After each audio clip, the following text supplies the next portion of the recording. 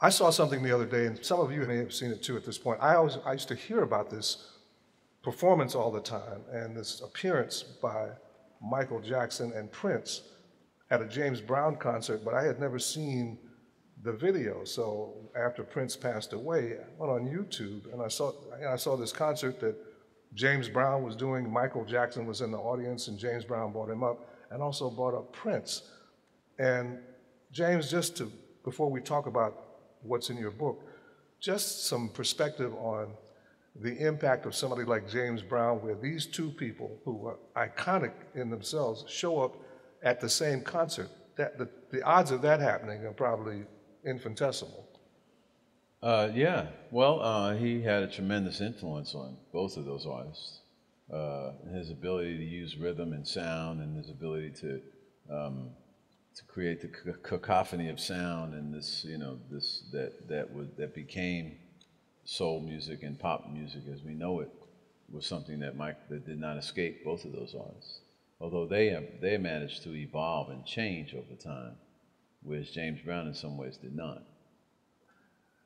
Uh, the book is called Kill 'Em and Leave Searching for James Brown. Some of you might not understand what that title means. You want to talk about that well, for a minute? Uh, when James Brown was, was training Al Sharpton, and Al Sharpton sat at his feet for 15 years, he would tell Al Sharpton, you know, you, you, you kill him and you leave. He had, a, he had a way of, when his band would hit, and they would hit, and James Brown would stand on the side of the stage and he'd wait until the audience was like greased, totally ready, you know, and his band would always hit strong. And then when they would, when he saw the audience was just about to erupt, then he would come out and he would bang away. And then he would just, when he was done, he would just, he would leave. He'd get it, he'd go backstage, he'd get his hair, he'd sit under the hair dryer for three hours and get his hair fixed up.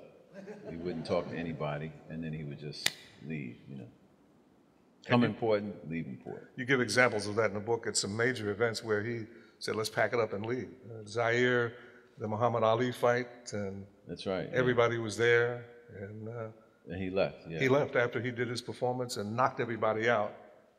Then he Yeah, went- Mobutu was planning to give, uh, you know, diamond. They said Mobutu was going to give diamonds to people, you know, afterwards and to the performers. And James Brown just said, "Man, I'm, I'm going home." And he went to the airport and he sat there for four hours until his plane left, and then he went home. and even Al Sharpton, who was with him, and Oh, Al wasn't. He Al was ready to get them diamonds. right, to he get to felt- yeah. Uh, do me a favor. I'd like you to um, to read just this portion to kind of set up our conversation. I, I just sort of picked this out from the bottom of the page, where Right. I uh, uh, underlined to the to that whole paragraph at the top of the next page. And today the lawyers argue about his estate while the guy who gave us so much pride is buried in his daughter Deanna's front yard, his body having been deposited there while some of his children ponder the idea of his home becoming a museum someday. By the time that museum opens, if it ever does, the cultural history will have shifted so much that the tundra will be unrecognizable. And there's not, there's not much more to look for in this story, really, because the James Brown story is not about James Brown. It's about who's getting paid, whose interest is involved, who can squeeze the estate, and black history for more. It's all in the hands of the executors, the lawyers, Brown's children, his ex wives, his ex friends. It's, it's about how that whole pot gets passed around. It's reflective of the sad, sad state of American popular emporium these days, where for the last decade, talent shows judged by stars whose names we'll forget five minutes past breakfast decide who has talent in America, while songs like Bitch Better Have My Money climb the charts. Maybe that's the kind of song we always wanted. Maybe it's the song we all deserved. But it wasn't the song James Brown had in mind. So, uh, just to give you some idea, we'll come back at uh, a later point in terms of what happened to the estate, which is a whole another story, a, kind of a tragic story. Um, as you point out in this book, there were already 15 books about James Brown, and some by some very good writers, as you point out also. So, my question is, why did you decide to do number 16? Because I needed the money. I mean, yeah, I mean, that, that was, that's the real reason. I mean, I got, you know, I was in a bad divorce and I was broke. And, and uh, someone from the family, you know, the, a family member, floated out this business of James Brown needing someone to write his story, and it came to me. And I had I've, I've turned down books like that all the time because I've evolved into becoming a novelist. I don't really do nonfiction, but I love James Brown, and I'm a musician. I'd never written about music before, so uh, so I decided to take it on. I was kind of I won't say I was snookered into it, but I didn't really know what I was getting into. Um, and then once I, you know, once I look, once you take your clothes off, you might as well finish the job. You know? so, um, you know, I just, I just had to finish the job. What surprised you most about when you got into it? I know one of the things you talk about in the beginning of this book is, and I can imagine this being the situation because when you mentioned James Brown, everybody connected to this business, uh, and probably everybody in the towns that he's lived in has a James Brown story because he was so big in uh, just internationally, but certainly in the black community. And so now, in talking to people, you have to figure out uh, who's telling the truth and who's, you know, who's trying to hustle you, because people say, well, I can tell you some James Brown stories. What you got? You know, you, I'm sure you ran into that. I ran into quite a bit. I mean, look, you're you've been in the radio business for a long time, right? 45 years, I heard yeah. you say. So you've heard, you've heard, you understand the struggle it would involve to get a story like this. Absolutely. Clean it helped that I was a musician because I'm not interested, I really wasn't interested in James Brown performance stories. Because as I was explaining to you backstage, after a musician plays, they don't want to talk about the performance. You can come to musicians, this was great, oh, I love the way you did. You know, musicians say, oh, uh, do we eat now? You know, where's the hotel? Because, I mean, you, you're doing the job. So I wasn't interested in the job. I was interested in what happens after the job is finished. Because after the job is finished is where James Brown and thousands of musicians, particularly African American musicians and country musicians to some degree, live, which is you're handing your culture over to the world and you're getting paid for it. James Brown got paid for it. He suffered tremendously. He really suffers even in death now because his estate is tied up. But the musicians who played with him, who I had the play, you know the chance to meet, suffered tremendously.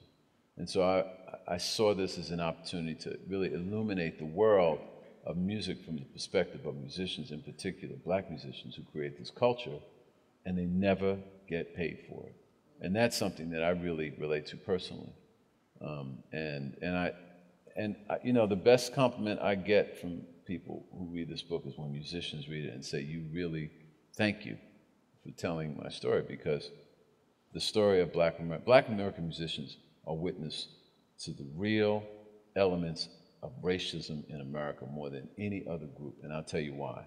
Because they cook the grits, they cook the gravy, they cook the mashed potatoes, and then they get $50 to hand it to someone, and someone goes to Europe, and they take them same grits and mashed potatoes, and they feed it back to you as rock and roll, and they say what a great guy that old guitar player was, and that old guitar player is, that's my friend. That's my uncle. These are people I know, and they die in relative anonymity. So that was my real payment for doing the James Brown book, in addition to, you know, getting paid. Getting paid, right, that helps, right. Uh, one of the things that in terms of people getting paid that you mentioned, because you make references to uh, other musicians, a lot of musicians, and, and their plight. Um, you made reference to uh, the Miles Davis kind of blues session where the, side, the sidemen got $150. It was a session fee. And, right. And when you talk to these guys, the only one still living is Jimmy Cobb, the drummer, but they will say, or he said, at the time, he just looked at it as another session. They didn't know it was going to be a, the best selling jazz album of all times. Well, I mean, I'm sure when Mozart wrote his 41 symphonies, he didn't think people would be listening to them, you know, 500 years later, 400, however long, you know, 1791, whatever it was. Um, really, the, the question you have to ask yourself is what is art worth to a society? And in our society, art and music is simply not worth that much at now. It's worth a lot later. Mm-hmm. Down the line. Because, because what you're doing is you're creating history. And we have no respect for history. We have very little respect for history in America. Now, in history that's more than 15 minutes old. So when someone creates something that's historical, we say, great, here's a small fee, and then on you go. So the thing is, what you, what you revere as history is the problem. Because as great as the Chicago Symphony is, they play music, but most of their music, I'm, I'm, I do not live here. Maybe they're playing American composers all year long, I mean, all the time. But we certainly know around Christmas, They're playing music that's written by people who have been certifiably dead for many, many years. Now, Handel's Messiah, okay. so, I mean, I- think that the real issue is how do you view art in society? Because that is that that's really the true question that lives beneath the story of James Brown and everyone like him. You know, one of the things along those lines, you mentioned uh, a guy who, uh, Louis Jordan, who James Brown really uh, sort of patterned himself after in the beginning. And I've read a lot about that because Louis Jordan's and his, Louis Jordan and Tympany Five, they used to really give a performance. They were all really great musicians, and uh, they were sort of the forerunner to Right. modern day R&B. And um, and as you point out, he died with not a lot of recognition and and not a lot of money. He, he died. You, you learn about Louis Jordan when you go see Five Guys Named Moe. He's just another in a long line of musicians whose work end up on Broadway 50 years later. In fact, the, the Tympany Five were excellent musicians. In fact, the, the, the drummer studied with the timpani player here at the Chicago Symphony. This is back going back to the 30s. I mean, these guys could really play. And Louis Jordan was the forerunner of James Brown in the sense that um, this whole patter on stage and, you know, like having fun and making the audience laugh and the tightness and the swing of Louis Jordan, uh, who was from Arkansas, he was a Midwestern, uh, is something that was really had a great effect on James Brown and his musicians, most of whom grew up in the South. I want to talk about uh, the whole journey and the way it started and uh, finding the Gaines family connection uh, to James Brown. was that the first real break, the Gaines family? Because James Brown was pretty secretive about his background and his family ties and his family tree and who he really was. So the Gaines family, was that the real start of getting Yeah, I good think- information? Well, when I first found out that James Brown, you know, the mythology of James Brown, he was born in a shack, and then, you know, like the movie, he was born in a shack, and his father was, you know, blah, blah, blah. You know, just the usual Horatio Alger myth of, of jive that accompanies so many of these stories. Um, when I found out that this Savannah River nuclear site was the biggest nuclear bomb making facility in American history, was built at the same spot where James Brown's family, uh, you know, emerged from. I became curious, and I wanted to find someone who had actually was a member of the family who could tell me, because they kept saying, "Well, he's not really from, he's really from Ellenton. He's not from Barnwell. I mean, Barnwell's part Ellenton, but Ellen, he's from the town of Ellenton, which is gone. There ain't no more Ellenton. Well, why isn't there any more Ellenton? Well, it turns out that James Brown was part of a large sharecropping family that existed in this town called Ellenton. The town Ellenton and five other towns were basically they were just, they were basically moved in order for the DuPont company and the United States government to create the biggest nuclear bomb making uranium plant in the world. And it still exists. It's called the Savannah River Nuclear Site. 361 square miles of, of bomb making facility. That never, that had never been written about with regard to James Brown. And so when I found um, a, one of the relatives who told me the story of how Oscar Gaines, who was James Brown's great, great, I think, great uncle, made his way. Or he, what, what happened was Oscar Gaines was working on a chain. Wait a minute, it. Just so you know that there's some humor in this story. This, when I read this story, I, I, I had to keep laughing to myself. I was in the room by myself and just laughing because it was such a funny story. But it also was a testament to how uh, African Americans had to survive in situations like that, thinking of something to help them get out of that. Tell that story about Oscar Gaines. Well, it's real. It's real. It's it's a funny story that was passed down in his family. Oscar Gaines was working. He was in prison in Georgia for some crime or other, and he was working near the river, and he kept saying, "It's too hot. I can't work no more." And the, the, the guards were on horseback, and and he said, "I want to go back to the you know to the in, to the prison because I can't work." And they said, "If you if you're so hot, we'll cool you off." So they took him. They did like this. They grabbed him by arms, and they he said, "Please don't throw me into the water because I can't swim."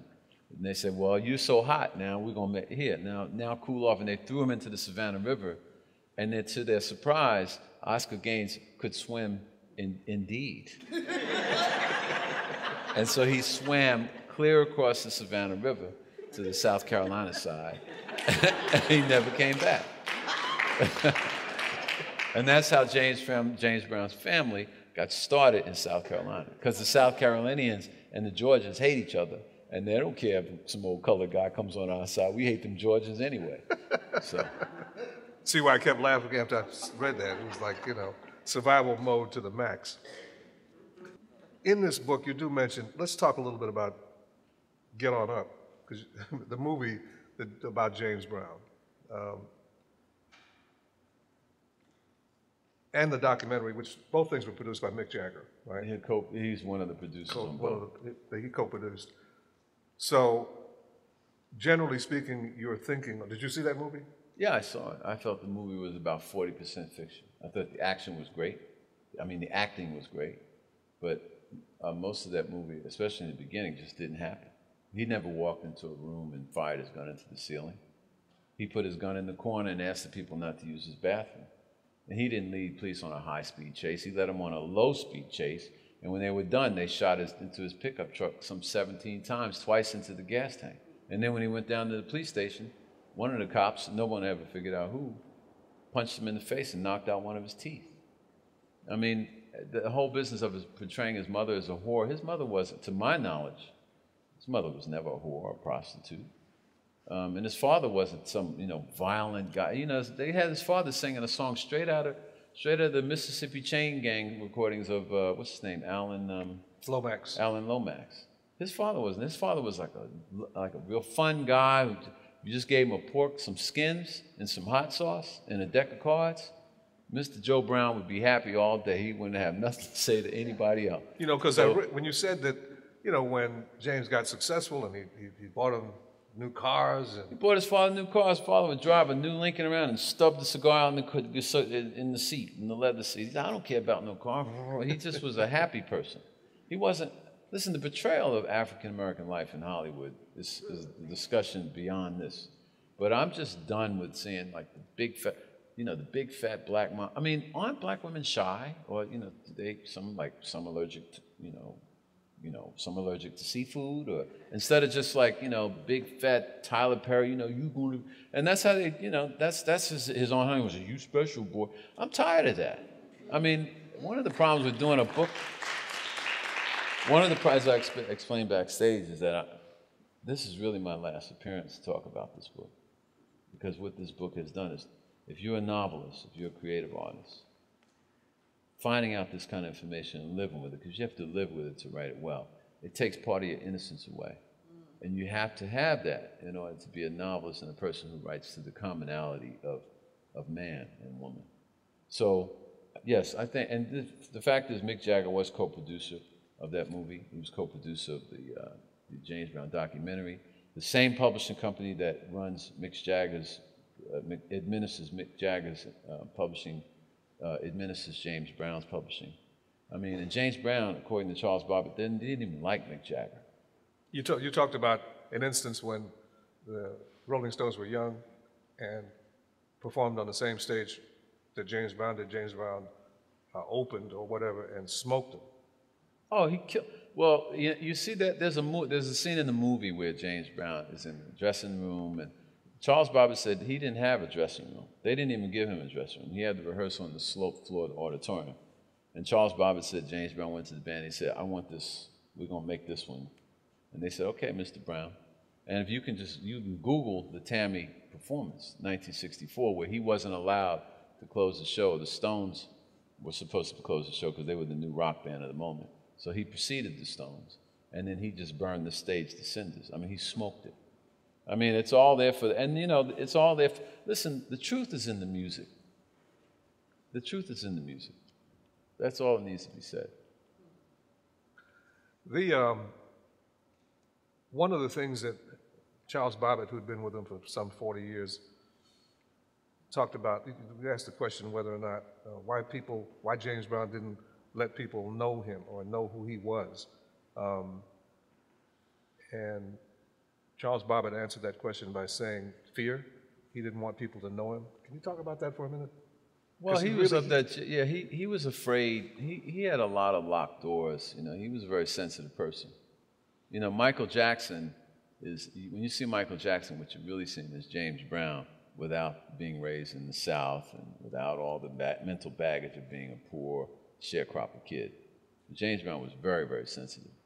And that's why during the course of his life, he addressed people as Mr. and Mrs., and he insisted he be addressed as Mr. Brown. But he had a lot of psychic wounds that he had brought from his childhood to his adulthood, which would never fully heal and, and never worked out. So, yeah, he had the normal fear of, like normal, but the normal abnormality of, of you know, self hate of some black folks, where, you know, white folks have, they, their red lights work all the time, and their lettuce is greener, and their rice is crisper, or whatever.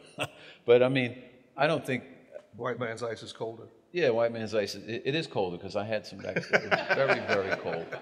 Really had it. No, but I mean, that's just the malaise that you know that he had. But um, despite that, you have to look to, to what he created, you know, which was you know he, he was he was a work ethic person. He believed in work. You know? He believed in in, uh, in pride and and and and he was a Southerner, and Southerners don't. And I'm sure people from Chicago, because Chicago got a whole lot of. I mean, with all due respect, I'm a you know, South has a whole lot of South. I mean, Mississippi Chicago, to Chicago. Yeah, it has a whole lot of. So you know, the whole thing of pride and not letting people know you're hurt. You know, just being being being prideful and being strong and not letting people see how weak you are. That's a that's a Southern thing, you know. And, and he had a whole bunch of that. He was a, very much a Southern man. Well, let me ask you this. I mean, one of the things that is, is talked about in your book was that he was a pretty hard taskmaster. Uh, some of the band members, according to your book, described him as mean. He didn't pay enough. Uh, he was outright cruel, and, uh, and many didn't like him. Uh, he would fine them for minor infractions. And as I told you backstage, I saw him do that one time in the dressing room. he, he fined a guy for closing his eyes while he was playing the guitar. Said, you, you weren't watching me. I might have made a move and you'd have missed it. Or people think you're on drugs, you know. Fifty dollars. Yeah.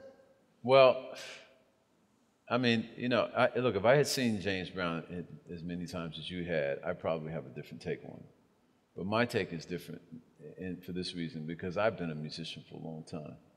And I've worked for some people, and I've, and I've run a band for a long time. And you know, if you have a problem in the band, not like you can like go to the human resources department and work it out with the guy. Yeah. You got guys who can play and he wants a lot of money, or you got guys who can't play who want a lot of money. This guy can really he, he can really play, but he gets drunk all the time. This guy can't play that well, but he cuts he can cut the part. And, you know, he can't cut the part, but he's a nice guy, and you know, he's got a kid. So I mean, he had to manage a lot, and the musicians never saw the promoters and the DJs and the record companies. They had to, had to deal with that. And they weren't like angels. They would some drink, some smoke. I mean, these cats, these are guys I love. And by but, the way, you know, this is true of a large band, whether it's James Brown's band or Duke Ellington's band. If you run a band, you got to deal with a lot of issues that you. Just, I wanted to not make only that. Point, that you know? Not only that, you got to deal with that if you're dealing with the Chicago Symphony. You know, and the third violinist gets a hiccup, and she, you know, gets mad at the conductor, and then she goes to, and I, they probably do have some kind of human resource department, but she's going to get a pension. But, you know, Clyde Stubblefield, who lives three hours from here in Milwaukee, Wisconsin, who created that, you know, that was Clyde Stubblefield. Now, you can, or you can get in your car and go three hours to Milwaukee, Wisconsin. And I bet you if you had enough money, you could get him to play for you because he doesn't get the kind of pension that someone from the Chicago Symphony. And should he, as, a, as an Oberlin graduate, I could, as a trained musician, I said absolutely he should. And by the way, Stubblefield was in, in the business in the music business, he's considered like one of the great musicians of our time.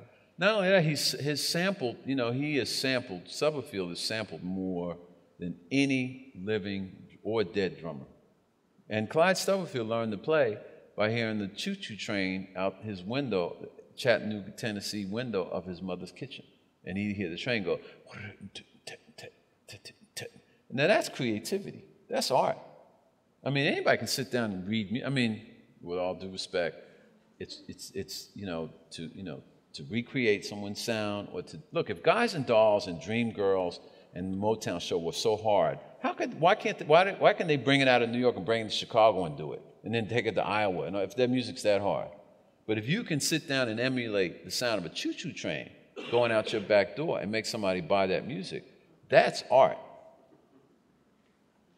Creative music.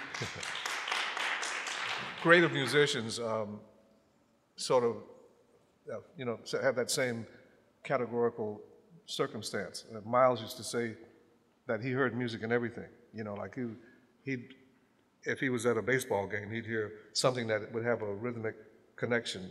You know, it was always in his head. So it was, you know, from that, came creativity of whatever the next thing was, because he was always hearing something that, uh, you know, that uh, clicked in as it relates to his music. Well, I mean, the, the thing is that there's art and music and song and everything. You know, when I was in school, I read Studs Terkel's book, Working. And he, he talked to a lot of people here in Chicago. Studs Terkel. Yeah, Studs Terkel. And, uh, and I remember reading about the stonemason. And he was a guy who was a stone, was my favorite story. And he'd say, he'd drive past his house, the stonemason, and he'd say, I know where every stone is. Because he fitted the stones and he knew where every, so, and I said to myself when I read that, I said, you know, I, I reflected on that a lot because I, the reason why it had effect on me is because in music and in writing and in any kind of building, there's always a moment where you say, I think I, I, fit, I fitted it together. It, it, it connects. There's a connectivity to art. And so, with anything, whether it be music or writing or stonemasonry or carpentry or plumbing, the connectivity is really the thing that powers it all. And so when we hear music, we're just hearing our souls connect with someone else's for that, you know, five or seven minute period, or if it's an opera for a two hour period, or however long. And then when the, when the music ends, the problem that I have is when the music ends, the connectivity that the music pushes into your soul ends when you walk out the theater. It shouldn't end there.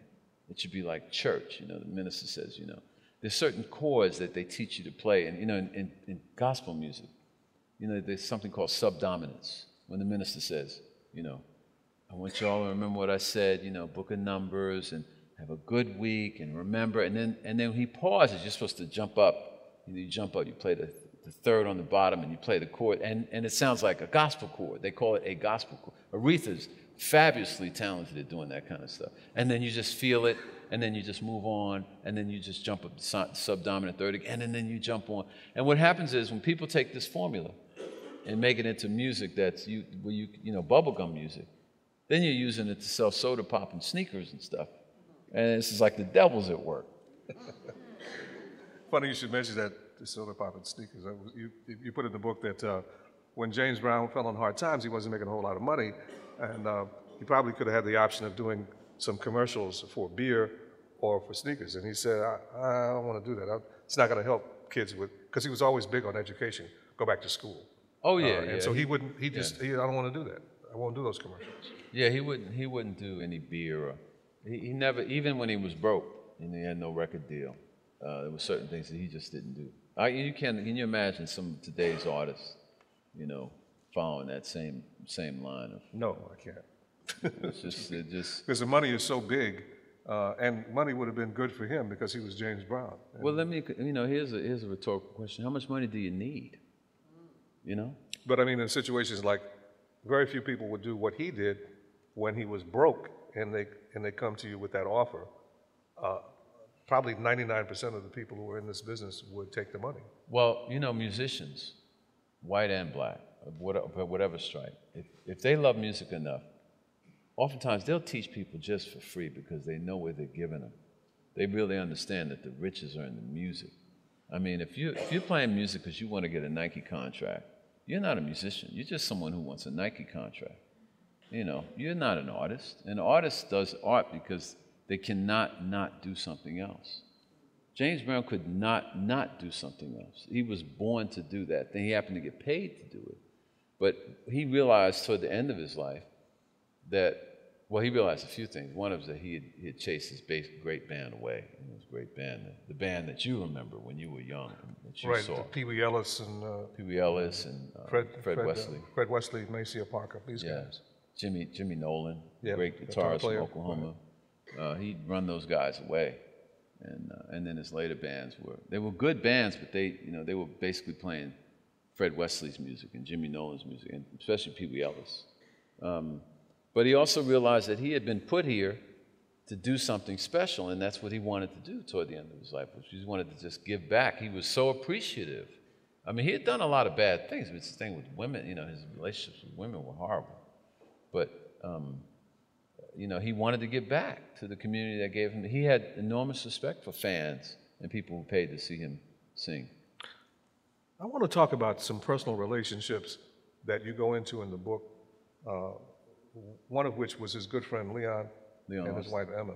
I mean, because you know, when you look at when you look at his history in terms of what you've written, he didn't have a lot of people he was real close to. These people were really his friends, seriously. I mean, and they were very, very close, and they were from back home. Yeah, they were from Augusta. Well, Leon Austin, when James Brown first came to Augusta, after his, his family, um, his parents divorced, and he ended up in Augusta, and he was staying with his aunt on the bad side of town. He, when he went to school, he was snot-nosed, dark-skinned kid, with, you know, you know, nappy hair and so forth. But Leon Austin was a, a light-skinned, well-to-do from a middle-class family. They became very close. They both loved music. Leon Austin taught him how to play piano, and um, well, how to, you know, he taught him his first piano, uh, and they became lifelong friends all the way until uh, until uh, uh, James, uh, until Leon died. And, and Leon respected James's space. Right. He would never. I mean, even as a child, you know, when they when when Leon Austin's mother first saw James and Leon together, she took them both into her kitchen, made them take their clothes off, and gave them both a bath. She said, "I can't stand neither one of y'all." And and then when she dressed them up, she said, "Now I can stand y'all." And um, James Brown never forgot that kindness. You know, Leon Austin was a very kind person. And, but he also understood that James had a lot of pain. You know, he called him bra. They call each other bro, but down south it's bra. Hey, bro.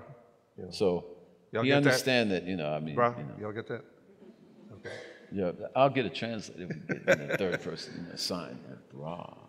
But um, so Leon never talked with James about certain things. Now, at one point, he wanted to play. He wanted to be in James's Yeah, band, and yeah. James actually produced a couple records for Leon Austin, which were actually very good records. But what Leon Austin had, James Brown didn't have. He had one wife, you know, he had one car, one house, he had a barber shop, he had a good life. And James would ask him, he'd say, well, you know, why you want to come out in the music business? You don't want to be in the music business. He would even ask guys who wanted to join his band. Joe Davis, the trumpet player, was working for the post office, and when he got into the band, James Brown said, why do you want to leave the post office to join my band? You got a good job. Charles Bobbitt had a good job. When, when Charles- Bobbitt, Bobbitt was his personal, his road manager, That's right. and he was had a good job uh, laying track for the Yeah, working New York city subway job. system. Yeah. Um, let me ask you, because our time's a little short, I do want to ask you uh, uh, about Al Sharpton. Reverend Al Sharpton, and I knew about Sharpton's reverence for James Brown and some of the story, but I, didn't, I never knew how deep it went. You explore that whole relationship with Reverend Al Sharpton and James Brown, which is pretty phenomenal. Yeah, well, I, I met with Sharpton or the Rev three or four times for three or four hours, and he talked quite. A, you know, he knows more about James Brown probably than any living person, because when he was a teenager, after James Brown's son's Teddy died, he knew Te- Al Sharpton was friends with James Brown's son Teddy, who you actually met. I did, yeah. Um, and when Teddy died, uh, he ended up meeting James Brown, and then James Brown basically adopted Sharpton as his kind of adopted son. And he traveled with James Brown for close to 15 years. He left New York as Reverend as Al Sharpton, the kid preacher, and he came back 15 years later as Al Sharpton, the Hellraiser. And a lot of when you see Al Sharpton talk, even the way he combs his hair, all of that comes from James Brown. And you know, when I and, and when I read about that in terms of the, the hair thing and his uh, sort of tribute to James Brown, I always thought I said, yeah, that's that's kind of silly. And then I read all about their relationship and you know the high esteem that he held James Brown in. James Brown was like a mentor, father. Uh, Sharpton said he didn't really have a father figure, Right. and then James Brown became it, and the, the relationship over the years was just absolutely incredible. And a lot of things that James Brown told him in terms of how to do things and how to move forward, he did those things, and they worked for him. So he was tremendously dedicated. Well, Al Sharpton also could do things that James Brown could not do. I mean, he could say things James Brown could not say. I mean, he could go 360 degrees. He could talk to a president, or he could talk to some of those gangsters that James Brown ran around with that, you know, had 38s in their pocket. But he also, and James Brown could do what Al Sharpton could not, which is that he, he understood African American life and he understood how to connect to people in a way that made them feel really, really good inside. Um, one of the things that we have to talk about, and some of it is really tragic, the, uh, um, the two people that, the two white people that were major in James Brown's business affairs uh, was uh, Buddy Dallas, Buddy Dallas, who was his lawyer, and uh, David Cannon. David Cannon, who was, who was his accountant. Right. Uh, what happened to Cannon at the end, in terms of the story that I read, was pretty sad. I mean, there's a guy who, when James Brown actually asked him to, because he was James was in tax, had tax problems, Right. and he went to this guy and said, you know. And by the way, something you mentioned earlier about these two white guys were Southerners, and there was a, even with the history of segregation in, in the South, there's a certain thing. They had this connection Right. Um, that only Southern whites and blacks who could communicate Right. understood, Right. and it was different. But these are the two guys who were major in his uh, in his business affairs, and uh, at the end of the day, with Cannon as his accountant, ending up in court and losing everything that he had, and uh, just it was really sad. It's one of the saddest legacies of the whole James Brown story, and one of the great ironies, and one reason why he's, his life is a metaphor for American life. Because David Cannon should have never been going to jail. And David Cannon, in my opinion, was innocent. I mean, James Brown trusted no one with his money. David Cannon, he trusted David Cannon because Cannon could be trusted. And Cannon got him out of tax trouble, and he ended up, when James Brown died, essentially what happened was, when James Brown died, he left none of his money to his children. He left all of his money in an, a trust that he set up to educate poor black and white children in the state of South Carolina and Georgia. That was 10 years ago. It is now 2016. James Brown died in 2006. In that 10 year period, not a single kid from either state has received a single penny of that money because the, the, the, the, the estate has been tied up in lawsuits. And the first attack against the estate was against the trustees of the estate, which were, Jan- which were David Cannon, Buddy Dallas, and Judge Bradley, who was a black guy who died.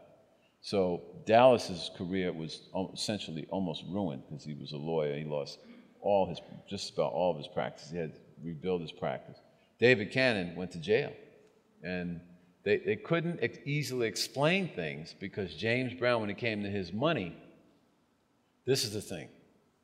Even today, if you ask Buddy Dallas, where's James Brown's money? The money that, that is like that James that nobody knows about. And Buddy Dallas said, when he asked James Brown where his money was, James Brown wrote on a yellow legal pad, and he turned the pad around so Buddy Dallas could read it, and the word was dig. Dig, yeah.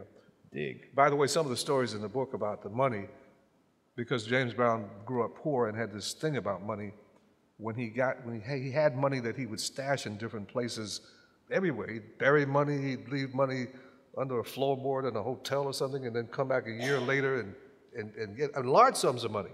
He had money everywhere. Uh, so it was very difficult for, for Cannon to, to follow that. As a matter of fact, he had some money. This uh, guy who's an accountant, he had uh, some $400,000 in Cannon's safe. Yeah, he had up to, he had at one point he had up to a million dollars in Cannon safe, uh, and then um, what happened was he, he basically owed the money. This is Cannon's version of it. He owed the money to Cannon, and then when he died, Cannon wrote himself a check for the account for the amount that James Brown owed him, and that sent him to jail. And they're still trying to squeeze money. They're still claiming. You have to remember, James Brown's estate is tied up in court now, and it's administered by the state of South Carolina. So- Even that movie, Get On Up, all of that stuff, the documentary, all that was administered by the state of South Carolina, not by James Brown's family or anybody who loved him or even knew him. Most of those people who administered the state, including some of the 90 lawyers and the four, those who filed up to 50 lawsuits, most of them didn't even know James Brown. And by the way, all those people were getting paid, right? So, Oh, my so, So the $100 million over, what, 10 years? So, well, the latest, the latest, so it's going, by the way, just to sh- it's going like this. Well, the latest figure they gave to the IRS is that the estate is worth 4.7 million dollars. Now, I mean, I, you know, I'm not an accountant, you know, I'm not, you know, it's like I said, I'm not a doctor, but I play one on TV. I mean, I'm not an accountant, but I mean, how do you go from having an estate that's worth an invest, you know, somewhere between 100 and 150 million to 4.7 million? And I can tell you how, because if you ask a question in South Carolina, you'll see so many, these lawyers are magicians. They just, they just blah, blah, blah, blah. They just, you know, you can't. And so between the lawyers, his last wife, because he married one of his background singers, Don't do that if you ever become a musician. No, I'll probably try not, try not to do that, you know what I mean? By the way, when he married her, she was uh, uh, already married. She had not divorced. Right, she was already married to a Pakistani guy and hadn't divorced him. But the state of South Carolina still considers her right now, as of today, you know, his, his widow. And then it's between her and his children and the state of South Carolina, they got that, that estate wrapped up pretty tight in, in court. And, uh, and by the way, I think uh, the good news out of that, uh, in terms of family relations, and if, it- if this is, holds true that was in your book, is that um, Terry, the other son, was not part of that.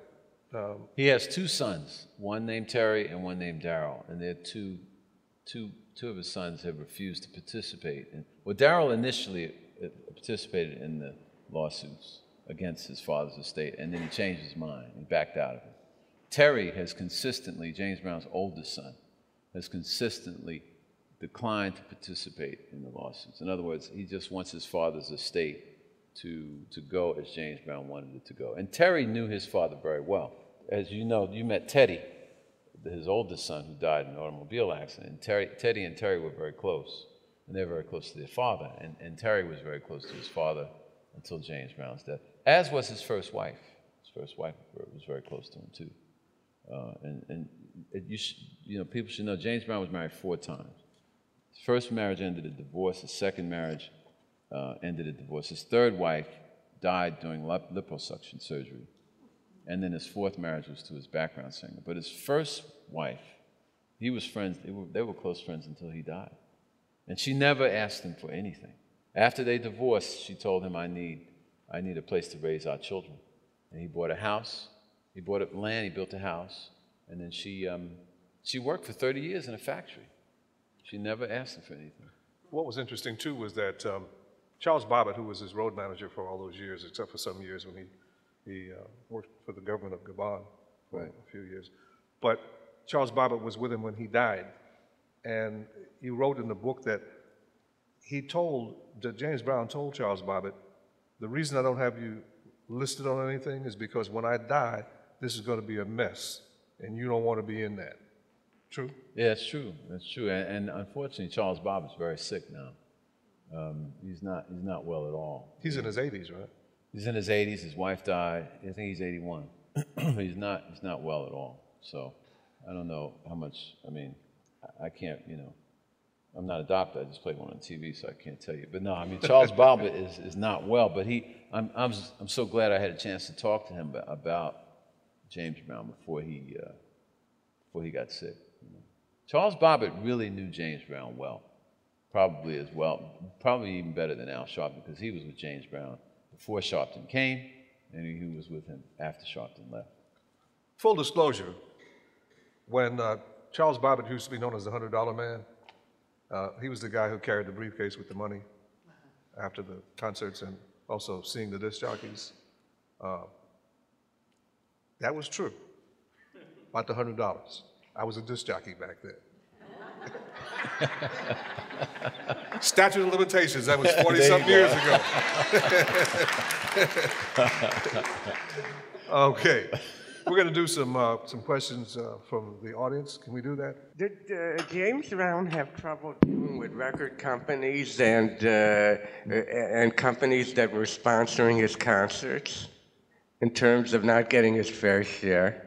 two, there are two different things here. His concerts, first of all, he had, he was, was, he was, he did, he was working for himself at some point in terms of promoting himself. Record companies uh, did not sponsor the concert. That was only like Motown that did that.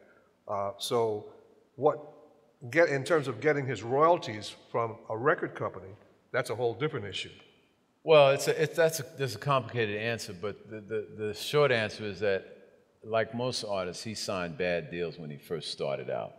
And then when he got, when he became more and more established, he began to esta- establish control of his publishing, music publishing, which is really where the real money is. Um, and so uh, toward the end of his life, he, he got a lot more justice out of his record company deals. In terms of his live performances, he always got what he wanted, even toward, even when he was not. I mean, he didn't actually he didn't get all. When he was big, he got big money, anywhere between he could get up fifty to hundred thousand dollars performance. When he was when he declined to the, in the '80s, he was getting as little as five or seven thousand dollars a performance.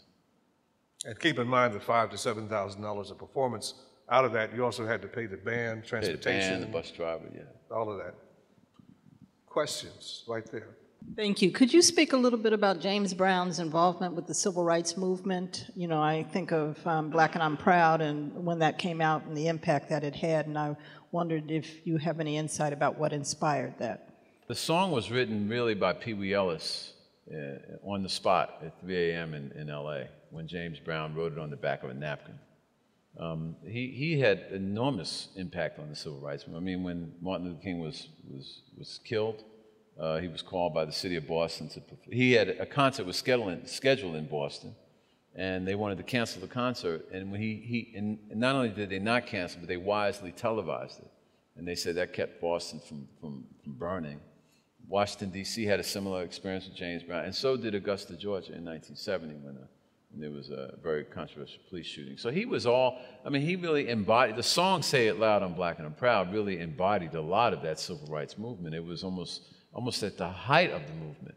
Because, I mean, in fact, it was. If you, one could argue 68 was the height of the movement, and that's when Martin Luther King got, got shot and so forth, but um, was killed. But um, I think what he, like most artists, there's a side that we don't see.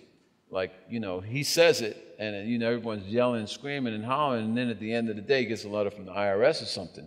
It's a whole different world because the audience is no longer there to say it's all goody, you know, goody gumdrop. So it was, I think the, the, the, um, the back, there's a word, the, the, the whatever, the backlash from that Oh, backlash. was pretty considerable. By the way, um, have you ever seen the video? The video has, with these kids singing, um, Say It Loud, I'm Black and I'm Proud, they're white kids and black kids in, in, that, in that video. And he's, in, his, in the money that he wanted to leave for education for kids back in his hometown in, in Georgia and South Carolina, his stipulation that was that poor kids need to be helped with education, whether they were white or black. Absolutely. Uh, that was his position. And the other thing, too, about Say It Loud, I'm Black and I'm Proud, James Brown had gotten to a point where his music was so popular and wasn't Motown, because he was always back and forth with this Motown versus the country boy, James Brown. But James Brown's music was played on the big stations, uh, like here in Chicago with WLS or WCFL, until Say It Loud, I'm Black and I'm Proud came out. And when that record came out, that was it for a number of years. That's interesting. They stopped, they stopped playing his music. They weren't going to play that. So it, it did cost him, and um, I've read some other, uh, some other uh, uh, articles where it said that he had some concerns about, because, you know, he, at some, because at that point he was appealing to a mixed crowd of people, blacks and whites, like James Brown's music. And he became concerned that after Say It Loud, I'm Black and I'm Proud, I'm Proud, it would have an effect on his concert crowd. So, there you go. Oh, is that why he came out with the? Uh, I think he came out with a song after that about America is great to me. I, rem- I can't remember the exact title. but Living it in was- America.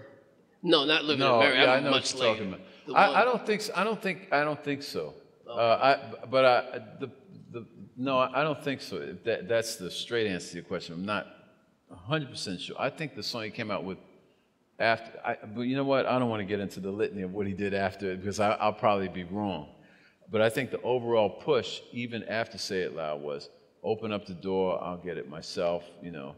Um, I don't think he, he ever backed off it completely, but I, I, I can't recall the next song. You know, he did go through the whole patriotic living in America because he believed in America. He was very much, very much a very patriotic American. And by the way, that when that song came out, "The Living in America," to go along with the Rocky movie, he that was the first. What I read was that that was probably the first time that he accepted an outside producer to come up with something that wasn't his, but he was his management convinced him. He said, "Listen, you need to kind of reconnect with a white audience, and if you do this and connect it with this movie."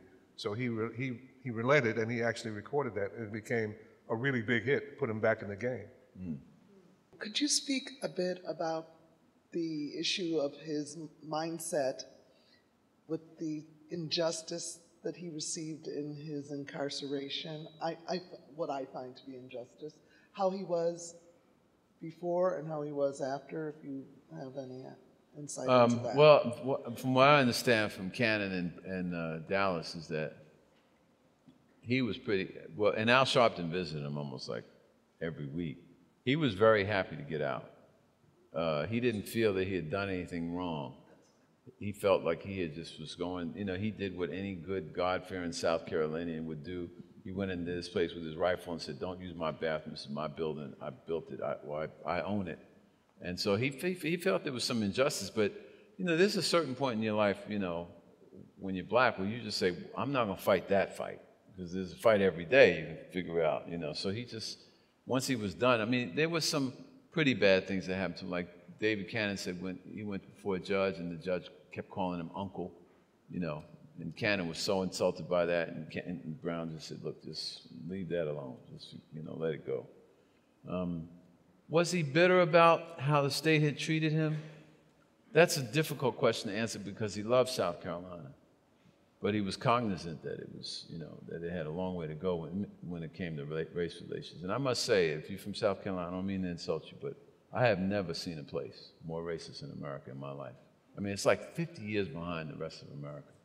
South Carolina is just something else. I mean, I, I don't, I'm not, it's got the nicest people of both type, both white and black, nicest people you ever want to meet.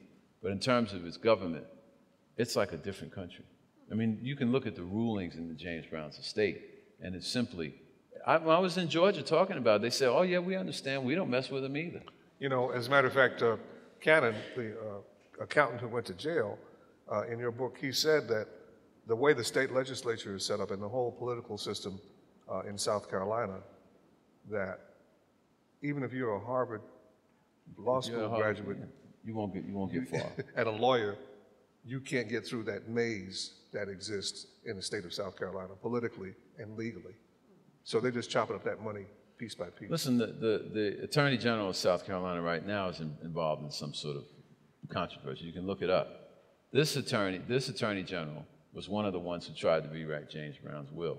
He's the son of the guy who, when Barack Obama said was speaking, and you know the guy who said you lie. Well, this Attorney General, that's that's his son. So these are. I'm not. I'm not. You know. I'm not saying. I'm just telling you who he is. Any other questions? Okay. I um, feel that James Brown was, you know, not only uh, icon musically, but an icon to the black movement at that particular time in history. Um, and you had Fela in Nigeria, and um, I, I understand they once met, that he had a lot of admiration for Fela and his music and his social uh, movement in Nigeria. Were you aware of that, or is that fallacy, or Oh, I was aware of it. I, I was aware that Fela had a lot of respect for James Brown. I don't know if James, you know, who knows James Brown. I mean, he, James Brown wasn't the kind of guy you could go up and say, "You have a lot of respect for." I mean, if you were James, if you were, you know, John Johnson of Johnson Publications, you could ask James Brown something like that. But uh, I don't know. But I, I know that a lot of African musicians had enormous respect for James Brown, uh, both musically and, and, and socioculturally, I suppose, or sociopolitically. What about Europe? What, International. what about Europe? I, I mean, he's a star. James Brown is a star in Europe. I mean, he is a, even now, he's, a s- I mean, he was widely revered. His concert in Paris, it's, you can get it online. It's incredible, man. He just, I mean, the French, you know, they just close their eyes and blow a kiss when they're talking about James Brown. I mean, that's one of the points made in the book is that um, this thing back and forth with he and Motown, because at the time, Motown had all the hits. I mean, they were pumping them out, but James Brown, just James Brown and his band, they were they were equal in terms of his individual output and people buying records, and so it was pointed out in the book that overseas, I mean, people knew who James Brown was as well as they knew who Motown was. I mean, it was James Brown, James Yeah. Brown. Well, James Brown, you know, was saw himself as a kind of one-man hit machine, you know, against the light, bright, bright Motown people. Now, now you, you and I know that Motown was anything but light, bright, and right. But he just saw, he pre-printed them. He just put them in, in his mind that way. So it was like Joe Frazier, with James Brown being Joe Frazier, and Motown being kind of Muhammad Ali. He felt they didn't, they didn't really know about the things that he had been through on the Chitlin Circuit. Mm-hmm. Because, does everybody know, know what the Chitlin Circuit was? Oh, these are small venues, small towns, and small locations where um, he had to, a lot of bands had to play, black bands in those days, and having, trying to find a place to sleep, trying to find a place to eat was a major problem, especially in the South as it relates to segregation. So his thinking was, he traveled that road, and Motown, they in Detroit, they didn't travel that road. Right, and they, you know, they had Diana Ross and the Supreme. You know, they gave him speech lessons. And They told him how to talk to the press Correct. and all that. You know, James Brown was country. I have a friend, my friend, my friend from Philly. You know, uh, you know, he was playing with Stylistics, and their bus broke down overseas, and he said, James Brown, James Brown's bus broke down. This is back in the, I guess it was in the '90s, and he said, the man said, well, they got to use y'all's bus. They got to get on board. And he said, and the Stylistics band was all North Philly cats. North Philly cats are kind of like, I don't know, Southside Chicago or Harlem, you know, black dudes. So he said, when he said, when James Brown's band got on here, on the bus, I said, what were they like? He said, man, them cats was country. he said, even the North Philly cats were saying, man, those are some country cats. There was always that difference, you know, in terms of perception. Um, uh, yeah.